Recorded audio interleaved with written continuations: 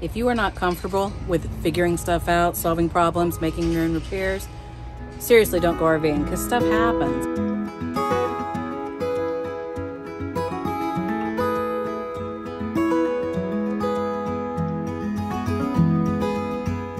When a crisis happens, you don't always think to grab the camera. I did think to grab the camera, but it was a massive crisis, so I didn't have time to turn it on. Um, I pulled in from getting gas and water and noticed that water was leaking out from under the rig. Um, Amy had, was taking a shower when I left, so I was concerned. Next, we looked underneath and our underbelly looked like it was pregnant. It was. it was. It was impregnated with water. It was all water weight. It was all water weight, but on pump.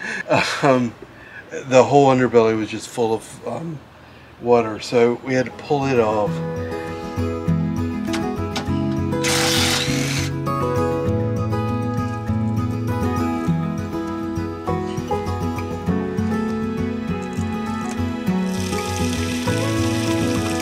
Oh my gosh, that's my whole shower probably.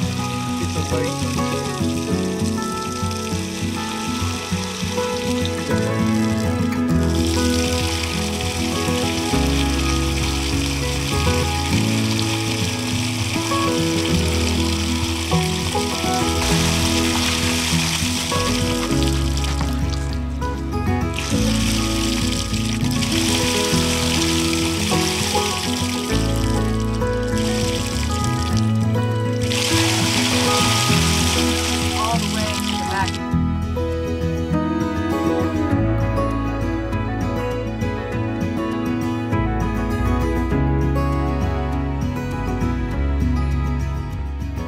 trying to, to figure out where the um, leak might be. So you notice this wall back here is completely saturated. So that gives us a clue the leak is above that dripping we're seeing. Because the drip is below it, it wouldn't have come up and saturated this wall. The outdoor shower was the one that was leaking the most, which makes no outdoor sense. shower? The outdoor shower. This valve right here was the one that was leaking the most. That doesn't make sense to me because it, it's closed. Hmm.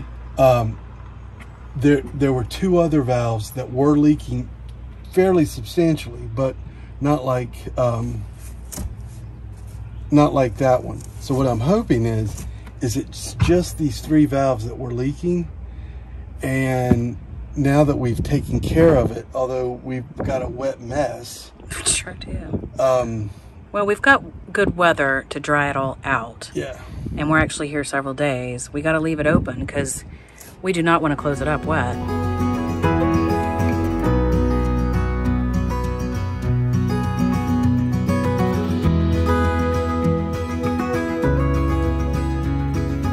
Amy went to the office to see if we could get a mobile tech.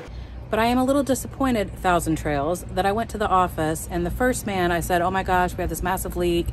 Is there someone you all can call, a mobile repair person, to come help us? And I got such a snarky response, which is very disappointing when you're already stressed out.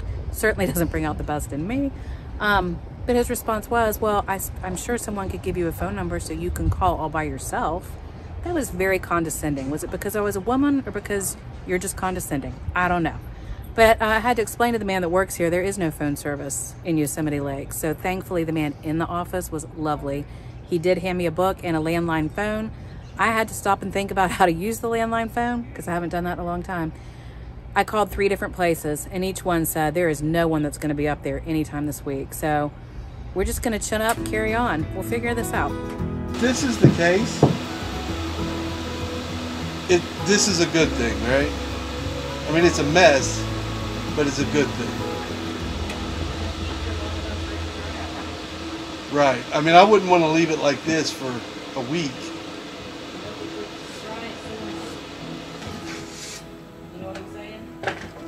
Yeah. Cooler temperatures will out, Yeah. but um, get a regulator. Yeah, I'm gonna go get a regulator and I'm gonna go up to that um, where I can get internet and I'm just gonna see what to check. You know what I mean? Yeah. I also spilled the dog food all over the floor, which has been fun for Silas, and so I'm just gonna let him go for it. This is because I was showering when this leak happened and cleaning. I swept the floors, I vacuumed, I mopped, getting everything so shiny and clean. It's just been all downhill ever since. That's what I get for trying to clean the rag. Uh, What's your problem? What's up?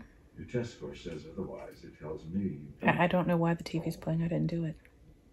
I drove down to um, where they said self service was, and there's one bar. Couldn't load anything. Um, I did get a regulator, so we're good there. Um, but as for internet, that's not happening there. So I renewed the lease on the thing we signed up for in here and got some. That might help you. It might. But what about my meeting in the morning? Your meeting in the morning, we're probably going to be driving a half hour, Cool. so we need to plan accordingly. Also, while you're talking, I just realized our refrigerator just kicked over to gas, which means it's not getting power.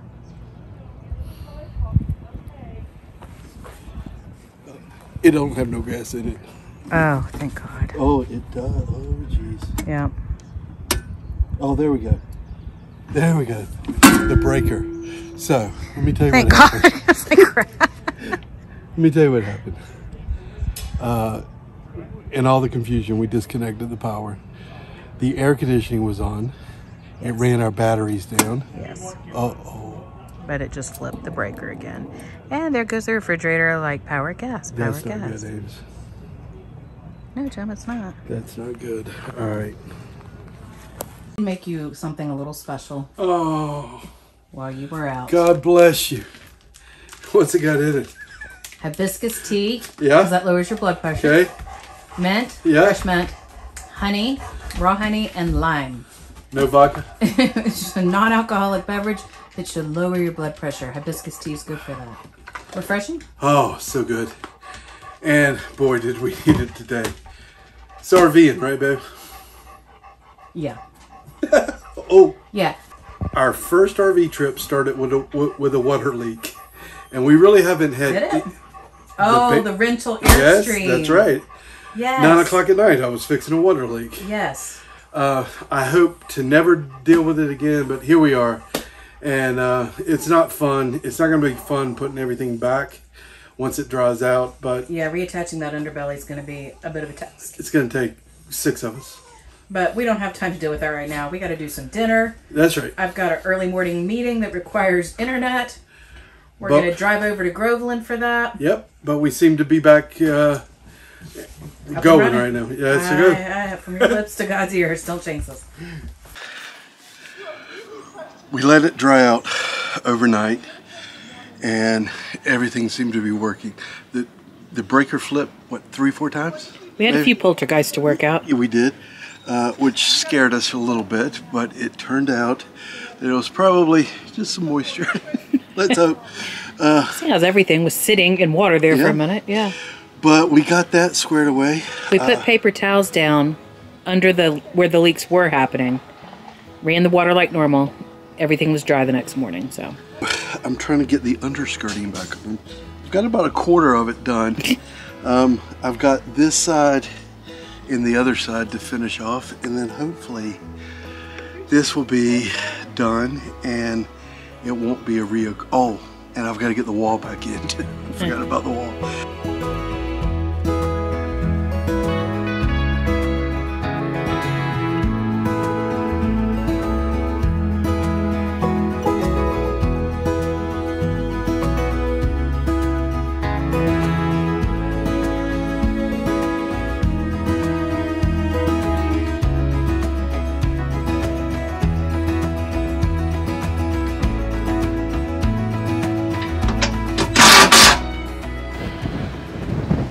Got it all fixed.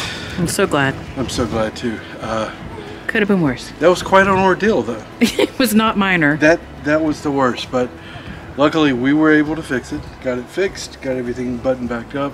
Now let's hope it'll start leaking again because I don't want to do that again. But Because then you're going to get a video of our pity party. that's right. So that's the water leak of 2021.